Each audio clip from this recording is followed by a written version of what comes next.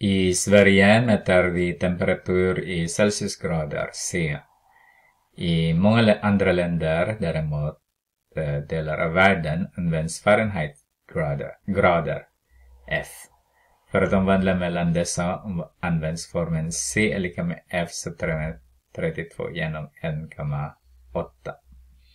Hur många grader Celsius motsvarar 100 grader Fahrenheit? svarar vi C är lika med 100 subtraherat 32 genom 1,8. Så har vi 68 genom 1,8. Så har vi 100 subtraherat med 32. Så har vi 68 dividerat med 1,8. Det är det 30 cirka 38 grader Celsius. Mm, ganska varmt.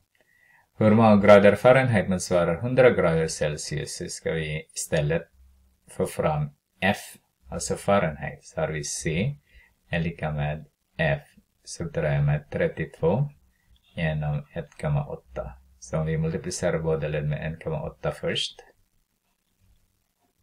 Så den här blir 1. Så har vi 1,8 C. Är lika med F subtraherar med 32. Och jag adderar båda led med 32. Så den här blir 0. Så har vi F är lika med 1,8 C adderar med 32. Så har vi 1,8 multiplicerar med 100 adderar med 32. Så har vi 180 adderar 32.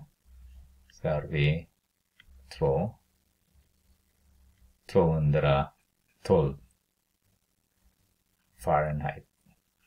Degrees Fahrenheit.